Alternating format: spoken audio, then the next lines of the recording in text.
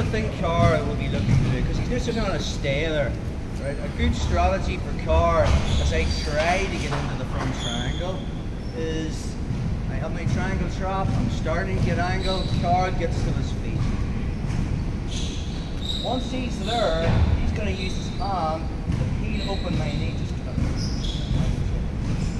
So now he's posture, he's going to get his hand into the crook of my knee, tap his elbow to his body, and start to turn the corner to smash out of my knees. That's another common thing that can happen from inside the triangle. Let's look at that again. So as I get into the triangle trap, I'm, I'm about to try and get angle, Carl sits up. From there he peels that and then he turns his head and smears that. So we want to be thinking about switching from upper body submissions to lower body submissions. Covered this briefly if you're here for Oliver Taj's leg lock game we did it a few years ago. Um, the triangle is a great upper body submission, but if you feel you're losing the position, but you don't want to just lose the position and get turn it back into a scramble. So from the triangle trap? Second card, maybe I've got hard for card to stand up if controlling his head. He maybe peels them off his hand and immediately jumps up. From there, the first thing I need is angle.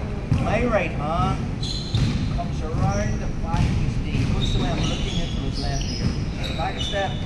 What I don't want to do is go ankle deep. There's a time for going ankle deep, but if I went ankle, he can just step out of it. If I go at the back of the knee, step out of it, it's just not going to happen. Now from there, if I, he starts to peel that off, the worst thing I can do is, as he peels it off, is try to get my first right hook in. He's just going to bump his hips forward,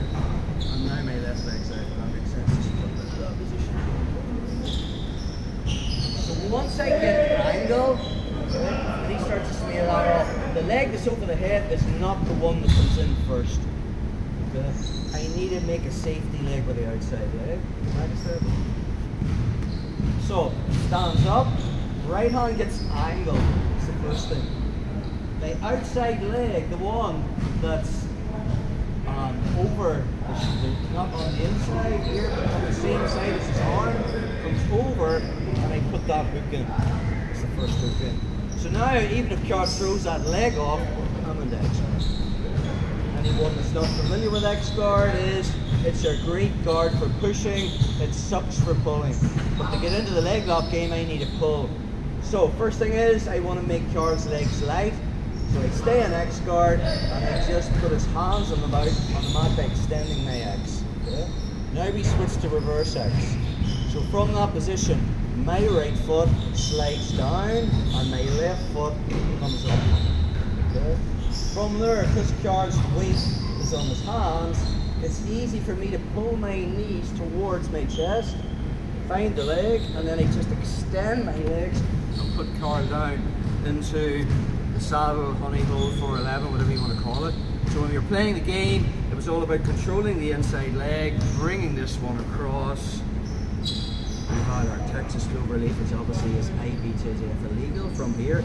Just if you're not used to this position, just get used to controlling someone from there, where I go foot to foot, knee to knee, and clamp. Char tries to move from there, it's difficult. But one submission I like from here is cross ashi. So I'll just be pushing that leg across, getting the crook of my right arm underneath Char's heel, and then I switch my legs. Okay? The reason I like this one is if I'm just going for a straight um, leg lock, back step Char, from there, Char puts the boot on and then steps over my leg. It's one of his defenses. Whereas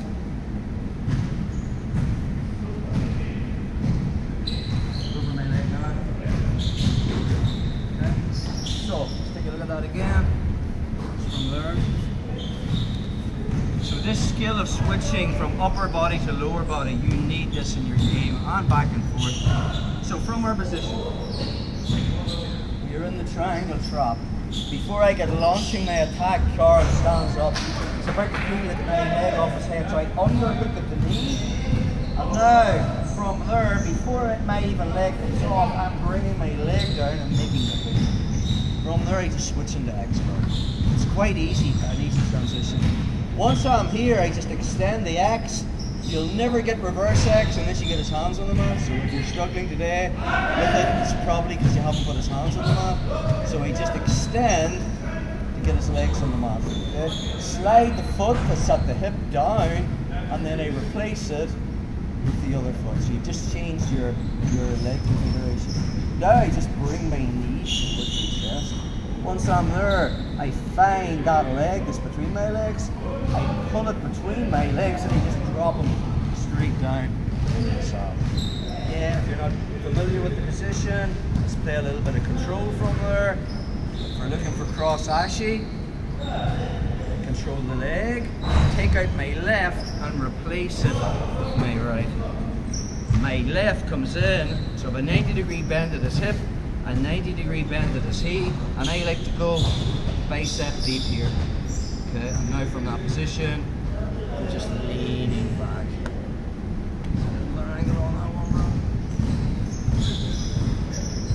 So, from the triangle trap position, guard the size to posture, maybe I wasn't controlling the set. First thing is right hand underhooks, left comes off and I find that butterfly hook and now the So again, just extend the X and switch your hooks. Okay? Bring your knees towards the chest, find that leg, extend your legs and put them down straight into our saddle. So again, we're not